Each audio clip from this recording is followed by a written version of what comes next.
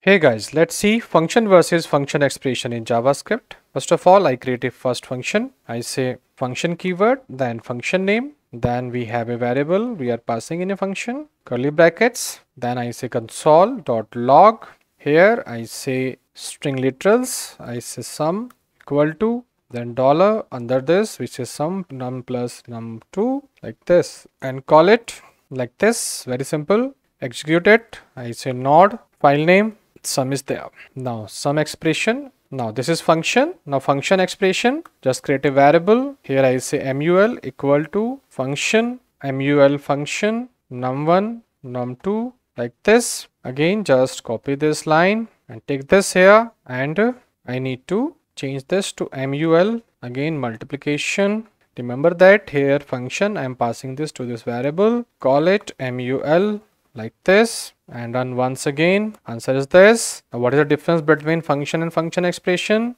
If i call this before declaration of expression like this and i run it it will throw error. Why? Because you cannot use it before declaring it because this function expressions does not comes under hoisting concept of javascript. But if normal function is there this normal function I can call before declaration of function also because this normal function have hoisting concept in JavaScript. Once again, I try to execute. Now it is running. So I can call normal function before declaration but I can't call expression before declaration because this expression does not follow hoisting this follow hoisting. What is hoisting that is different concept I will tell in next videos.